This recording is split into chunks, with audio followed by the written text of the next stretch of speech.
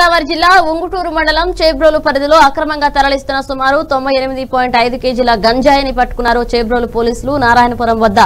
పోలీసులు తనిఖీలు నిర్వహిస్తుండగా కారులో వైజాగ్ నుండి రాజస్థాన్ తరలిస్తుండగా అక్రమ గంజాయిని చేబ్రోలు పోలీసులు పట్టుకున్నారు. సుమారు దీని విలువ నాలుగు లక్షల డెబ్బై వేల రూపాయలు ఉంటుందని ఇందుకు సంబంధించిన ఇద్దరు వ్యక్తులను కారును సీజ్ చేసినట్లు ఏరూరు డీఎస్పీ దిలీప్ కిరణ్ పాత్రికేయుల సమావేశంలో వెల్లడించారు. ఈ ఘటన వెనుక ముఖ్యమైన నిందితులు ఎవరున్నారనేది తదుపరి పరిశీలనలో తెలుసుకుంటామని దిలీప్ తెలియజేశారు.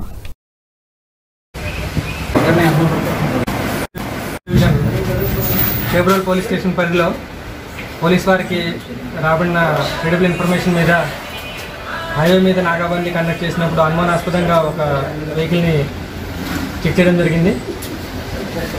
అందులో అక్రమంగా తరలిస్తున్నటువంటి గంజాయి పట్టుబడింది. ఈ గంజాయి సుమారుగా తొంభై ఎనిమిదిన్నర కేజీలు ఉంది.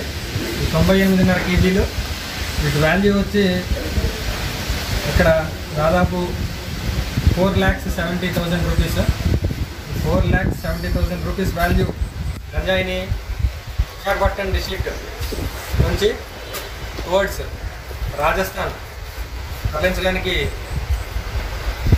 వీరు ఒక కార్ని ఎంగేజ్ చేసుకొని రాజస్థాన్ నుంచే గుజరాత్ రిజిస్ట్రేషన్ మీద ఉన్న ఒక కార్ని తీసుకొని వైజాగ్ నుంచి సరుకును సరుకుని తీసుకొని తీసుకెళ్తున్నారు. అయితే ముద్దాయిల పేర్లు ఏ వన్ జగదీష్ వైష్ణవ్ ముప్పై రెండు సంవత్సరాలు బిల్వారా జిల్లా రాజస్థాన్ ఏ టూ ఓం ప్రకాష్ వైష్ణవ్ ఇరవై ఐదు సంవత్సరాలు బిల్వారా జిల్లా రాజస్థాన్. ఇద్దరిని కూడా అదుపులోకి తీసుకోవడం జరిగింది.